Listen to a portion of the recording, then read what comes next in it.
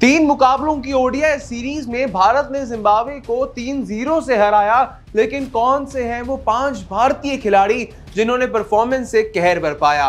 कौन से पाँच खिलाड़ियों के ऊपर जाएगा भारत की सीरीज़ में क्लीन स्वीप का श्रेय? उसके बारे में करेंगे बातचीत इस वीडियो में। अंत तक बने रहिएगा हमारे साथ। क्रिकेट इन इंडिया के चैनल पे आप। मैं हूँ आपके साथ लक्षित। हम सभी ने देखा, भला भारत की पहले गेंदबाजी हो या फिर आखिरी मुकाबले में भारत की पहले बल्लेबाजी हो। हालाँकि भारत को पहले बल्लेबाजी करते हुए थोड़ा सा दबदबा ज़रूर महसूस करना पड़ा, जब दूसरी पारी में एक बार लग रहा था कि जिम्बाब्वे इस रन चेज को शायद मुकम्मल कर लेगा।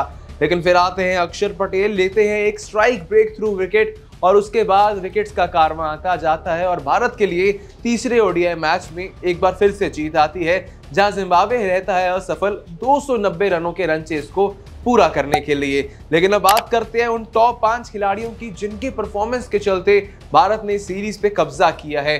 नंबर एक पर आता है वो खिलाड़ी जिसका शतक रह गया था वेस्ट इंडीज में। लेकिन जिम्बाब्वे के सामने तीसरे ओडीआई मुकाबले में आता है मौके पर चौका।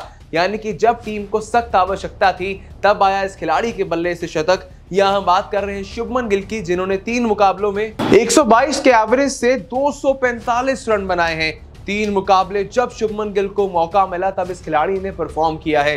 पहले मुकाबले में नाबाद रहे, इक्यासी रन बनाकर अंत तक, और आखिरी मुकाबले में 130 रन बल्ले से आए, जो दर्शाता है शुभमन गिल क्यों भारत के लिए फ्यूचर में वनडे इंटरनेशनल क्रिकेट में हो सकते हैं एक सॉलिड बैकअप के कंटेंडर दूसरे नंबर पे नाम आता है इन्हीं के साथ ही ओपनर का, जिस खिलाड़ी ने वाइस कैप्टनसी की भूमिका भी अच्छी तरह से निभाई, और साथ ही में अपने एक्सपीरियंस का पुख्ता ज़ोर भी दिखाया बल्ले के साथ। यहाँ हम बात कर रहे हैं शिखर धवन की।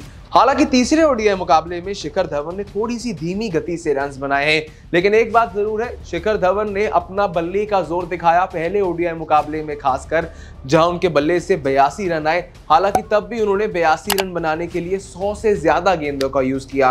कुल मिलाकर शिखर धवन ने तीन मुकाबलों में एक सौ चौवन रन बनाए हैं। दूसरे नंबर पर अगर धवन है, तीसरे नंबर पर आता है नाम अक्षर पटेल का। अक्षर पटेल, इससे पहले हम जानते थे उन्हें मात्र सिर्फ़ ऑलराउंडर स्पिनर के तौर पर।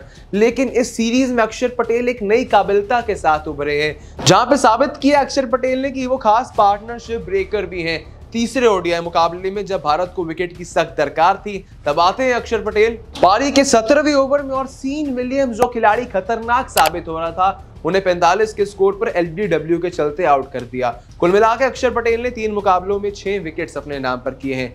अक्षर पटेल के बाद चौथे नंबर पर इस लिस्ट में नाम आता है। उस खिलाड़ी का जो कर रहा है वापसी इस दौरे के अंदर। छह महीने के बाद क्रिकेट में रिटर्न करने वाले खिलाड़ी दीपक चहर। फेब्रवरी में हुई थी इंजरी बैक इंजरी जिसके बाद उन्होंने आईपीएल भी मिस किया, भारत के लिए आगामी दौरे भी मिस किए। लेकिन जहाँ यहाँ दीपक चहर ने वापसी की है, पहला मुकाबला खेले, वहाँ तीन विकेट्स लिए।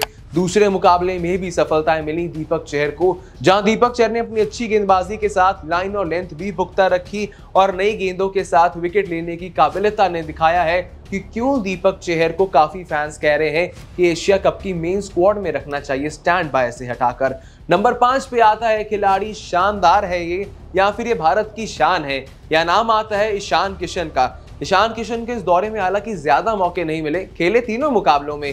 पहले में बल्लेबाजी नहीं आई दूसरे में थोड़े से अनफॉर्चुनेट रहे, लेकिन तीसरे मुकाबले में जहाँ पर कोई बल्लेबाज नहीं चला ओपनिंग पे ना चले, धवन ना चले, राहुल मिडल ऑर्डर में जब ईशान किशन को नंबर चार की आज भूमिका दी गई तो ईशान किशन ने अपने बल्ले से अर्धशतक जड़ दिया। हालाँकि ईशान किशन से उम्मीदें ये भी थी कि वो पारी के अंत की ओर जाते हुए थोड़े बड़े शॉट्स लगाते, लेकिन दुर्भाग्यपूर्ण रहे जहाँ वो रन आउट हो गए। लेकिन ईशान किशन का आज का अर्धशतक सालों साल याद रखा जाएगा, जहाँ पर एक इंपॉर्टेंट मैच में इंपॉर्टेंट समय पर आया उनके बल्ले से अर्धशतक। तो कुल मिला के ये पाँच खिलाड़ी हैं वो जिनके चलते भारत ने इस सीरीज़ पे किया है अपना कब्जा। सबसे पहले आते हैं शुभमन गिल, फिर शिखर धवन, अक्षर पटेल, दीपक चहर और ईशान किशन। इन पाँचों में से कौन है आपका सबसे मन पसंदीदा भारतीय खिलाड़ी? बताइए उसका नाम हमें कमेंट सेक्शन में। और साथ ही में सब्सक्राइब कर दीजिए यूट्यूब पे फॉलो कर लीजिए फेसबुक पे। जानने के लिए क्रिकेट से जुड़ा हर एक लेटेस्ट अपडेट वो भी सबसे पहले।